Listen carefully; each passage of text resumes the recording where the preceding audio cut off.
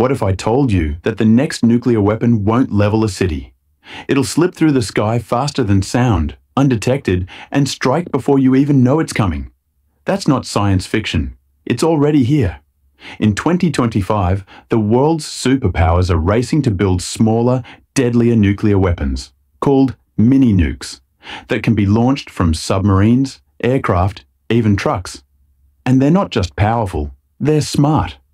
Hypersonic glide vehicles like Russia's Avangard or China's DF-ZF can travel at over Mach 20, maneuver midair, and dodge every known missile defense system.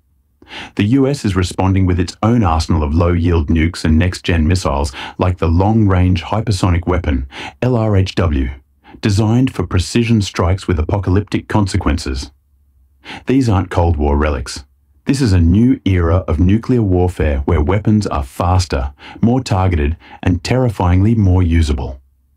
Experts fear that because these mini nukes cause limited destruction, leaders might actually be tempted to use them. Imagine a battlefield where a nuclear blast is considered tactical, not just strategic. That's the chilling future we're walking into. And while treaties crumble and nations test boundaries, there's one thing you should remember.